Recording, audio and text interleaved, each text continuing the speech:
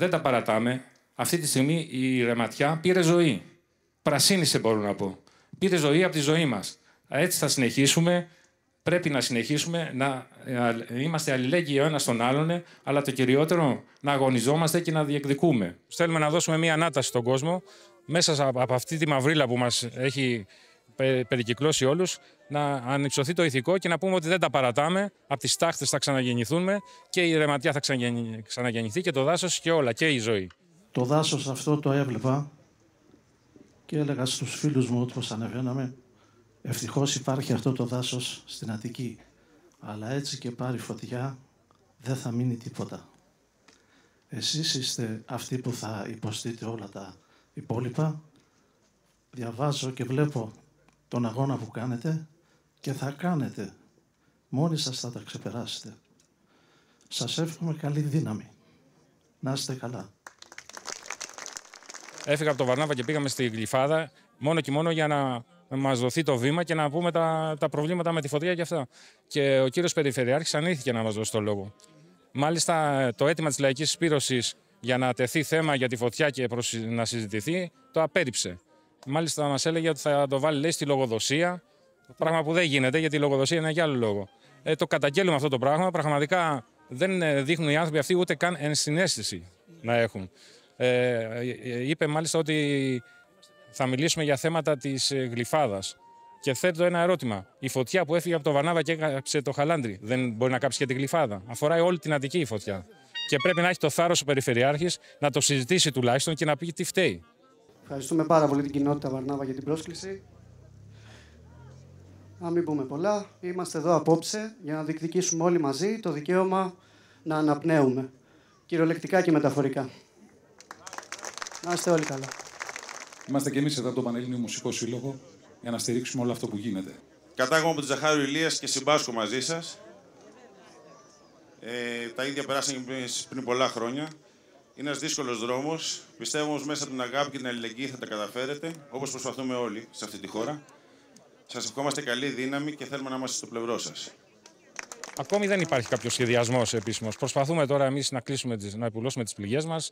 Ζητάμε κάδους σιδερένιους για να αρχίσει σιγά σιγά ο κόσμος να παίρνει τα μπάζα και να τα ρίχνει οργανωμένα. Θέλουμε η επόμενη μέρα να γίνει οργανωμένα από ένα Δήμο σοβαρό και ένα κράτος σοβαρό, το οποίο δεν υπάρχει στην ουσία. Δεν υπάρχει. Αν νιώθουμε την καταστροφή των άλλων σαν δικιά μας καταστροφή, τότε τα πράγματα θα πάνε καλά. Γιατί ζούμε μια εποχή ατομισμού και κοιτά, κοιτάει ο καθένας να βολέψει το δικό του τομάρι. Δεν είμαστε τομάρια. Είμαστε άνθρωποι, πρέπει να παλέψουμε ο ένας για τον άλλον και να διατεθούμε ο ένας για τον άλλον. Εγώ έχω έρθει εδώ από το 90, αγάπησα πολύ τον τόπο, καμία εξουσία, καμία κυβέρνηση δεν τον αγάπησε. Αυτοί ό,τι απαιτούν, δηλαδή χρωστά στην εφορία, δεν τα δίνεις, απαιτούν να τα πληρώσεις. Δεν τα δίνεις, α, σου κάνουν κατάσχεση. Λοιπόν, θα πρέπει εμείς να μπούμε στη διαδικασία ως πολίτες να κάνουμε κατάσχεση σε αυτούς. Θέλουμε να φτιαχτούν όλοι οι αγροτικοί δρόμοι, οι οποίοι λειτουργούν και ως ε, δρόμοι πυρασφάλειας και να μπουν και δεξαμενές ανοιχτού τύπου, γιατί ακόμη το καλοκαίρι είναι μπροστά. Δεν ξέρω αν θα πιάσει μια φωτιά, μπορεί να κάψει και την παραλία Βαρνάβα και να χαθεί και το υπόλοιπο κομμάτι. Αυτό το θεωρούμε βασικό σαν κοινότητα. Και από εκεί και πέρα ζητάμε να αποζημιωθούν οι άνθρωποι 100% της ζημιάς που έχουν πάθει, καθώς και οι καλλιέργειες, να μην πληρώσουμε φυσικά νερό. Έτσι. Ο, ο Δήμαρχος μας έδωσε δύο τετράμινα και είχε το θράσος να τα πληρώσει από το 1 εκατομμύριο που πήρε για το, για το Βαρνάβα. Με τα ίδια τα λεφτά μας, δηλαδή πληρώνει τη, χάρη που μας κάνει.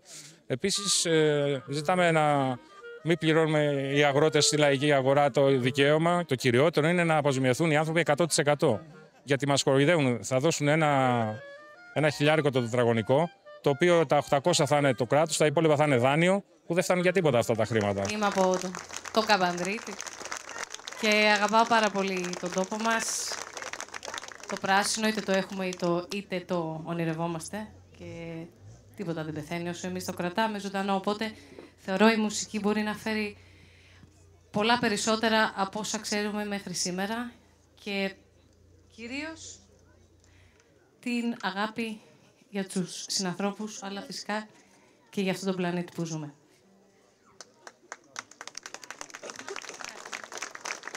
Να είστε καλά, εμείς συμβάλλουμε με τις με τη δύναμη της φωνής μας στο να αποτραπούν όλα αυτά τα δυσάρεστα γεγονότα που συμβαίνουν και που είμαστε εδώ σήμερα. Να είστε καλά. Καλή δύναμη. Θα ήθελα να μην σας πω τίποτα και απλά να τραγουδήσω αν δεν σας πειράζει. Γιατί νομίζω ότι δεν έχουν σημασία και πολύ τα λόγια. Το βλέπουμε όλοι, το νιώθουμε όλο αυτό που συμβαίνει. Είναι πολύ σημαντική η πρωτοβουλία που παίρνει σήμερα εδώ πέρα η κοινότητα. Όσο και το κέρδος να είναι πάνω από τις ζωές μας, πάνω από το βιός μας, πάνω από τα πάντα, υπάρχει πάντα η ελπίδα, υπάρχει πάντα το φως, είτε είναι ο Βαρνάβας, είτε, είτε είναι το μάτι, είτε είναι η μάνδρα.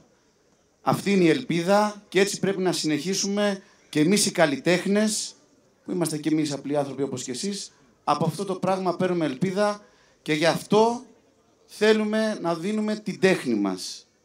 Γιατί η τέχνη μπορεί να βοηθήσει τους ανθρώπους να σκεφτούν να πάνε παραπέρα και να αλλάξουν τα πράγματα ώστε να μην κεγόμαστε, να μην πνιγόμαστε και να μην σκοτωνόμαστε για τα κέρδη των λίγων. Αυτή τη φορά στη φωτιά αποδείχθηκε στην πράξη ότι ο λαός έσωσε το λαό.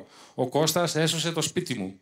Ο Γιώργος έσωσε το σπίτι του, του Παναγιώτη. Μεταξύ μας σωθήκαμε. Και αυτή είναι η δύναμη, η δύναμή μας. Εκεί πρέπει να εστιάσουμε και να δυναμώσουμε ακόμη περισσότερο. Σας ευχαριστώ πάρα πολύ. Καλή διασκέδαση και στο Επανειδήν.